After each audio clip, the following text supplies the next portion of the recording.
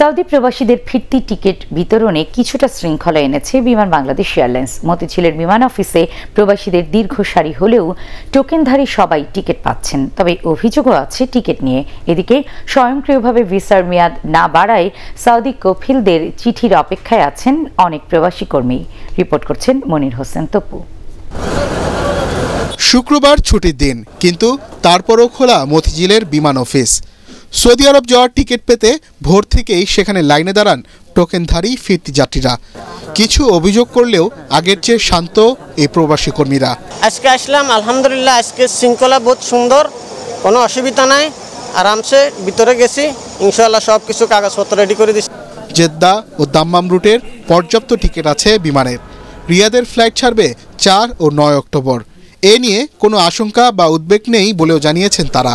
আর এই খবরে খানিক স্বস্তি ফিরেছে। করোনায় ছুটিতে দেশে এসে আটকে পড়া প্রবাসীদের মাঝে। সকাল থেকে লাইনে দাঁড়াইয়া আমি ভিতরে গেলাম টোকেনের জন্য। আমার দুই মাসের ভিসা বাড়াইছে মালিকের আমার নিজের টাকাটা বাড়াইছি আমি। এখন আমার টোকেন দিল না কি লাগে? আমার টোকেন দেখ টিকিট ওকে করাই দেখ সিরিয়াল মতন আমার যখন ফ্লাইট পরে ওই ফ্লাইটে আমার দেখ সৌদি আরব থেকে আসলাম আপ ডাউন টিকেটে এখন আমি যা- এখানে আসি চেক করার পরে আমি জানতে পারি যে আমার একটা টিকিট টাকা রিফান্ড করে নিয়ে গেছে। এখন আমাদের কি নতুন টিকিট দিবে বা কি আসবে আমরা এখন জানি না। পাশাপাশি ছুটি ও আকামার মেয়াদ নিয়ে দুশ্চিন্তা শেষ হয়নি। নতুন করে আকামা দিতে সৌদি কফিলদের অনেকেই বাড়তি টাকা দাবি করছেন বলে অভিযোগ করলেন প্রবাসীরা। কবিল দুই তিনবার আমাদের টেলিফোন রিসিভ করছিল না। আমাদের চিনে এমনি চিনে। পরে আবার রিসিভ করে ঠিক আছে বলছে চিন্তা করো না তোমরা আমি তোমার টিকিট আমি আমি ভিসা বাড়িয়ে দিতেছি। আমি আপ ডাউন টিকিট করে আসছি আমার এই টিকিটের টাকাটা উঠে খাই ফেলাইছে।